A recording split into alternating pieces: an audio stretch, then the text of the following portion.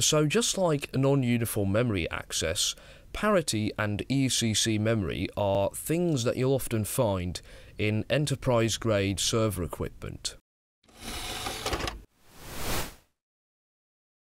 Okay, so before we can understand parity and ECC memory, we first need to know why we need them, right? We need to know what problem they're supposed to solve. And in order to illustrate that, I've got a really simple example. So let's say we have got a, uh, a computer that is very, very basic. So it has a, a single CPU that is connected to a bunch of random access memory, and that random access memory consists out of only 4 bytes to keep things simple. Okay, and at some point, so you can see that these bytes are empty right now, they're all set to 0, there's nothing in the memory for some reason. Then, at some point, the CPU is going to load a character, the lowercase a, into one of the bytes of the memory, just like that. Okay, so far so good. Now, normally, um, this data would just stay in the memory, and then later on the CPU would be able to get it from the memory again. Right, it doesn't really matter what the CPU does with that data for now. Um, the point is, normally it would just stay there, and the CPU would be able to get it from the memory again later on. But sometimes something goes wrong.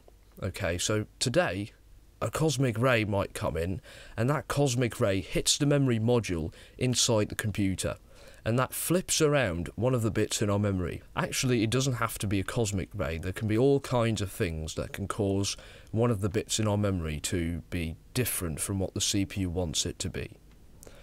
Okay, so now we've got this corrupted data, right? This is no longer the lowercase a. This is now something else. This is not what we want. This is a big problem. And this could make the computer crash in the worst case scenario. Now, although this would be annoying in your desktop computer, it's not the end of the world. Whereas, if this happens to your cloud server, it could cost you a fortune Right, so you really don't want this to happen in an important server. And that's why we have things like ECC and parity memory. So first of all, let's take a look at what parity memory does in order to, to solve this problem. So parity memory takes every byte in the memory and adds one extra bit of information to it that we call the parity bit. And here's what that parity bit does.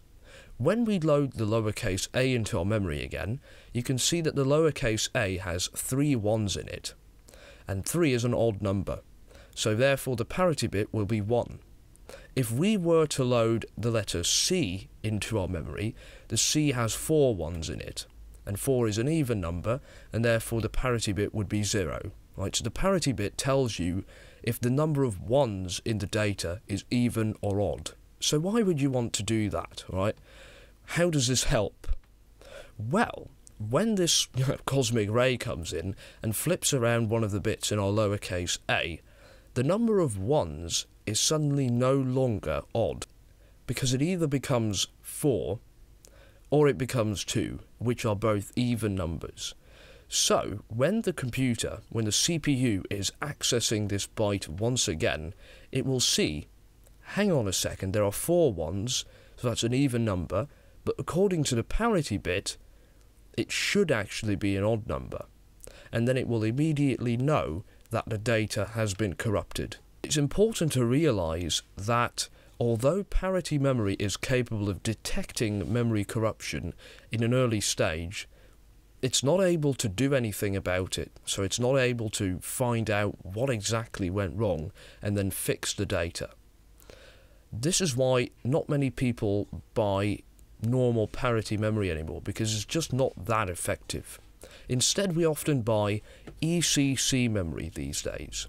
So ECC stands for error correcting code. Just like normal parity memory, it stores parity information, so it stores parity bits.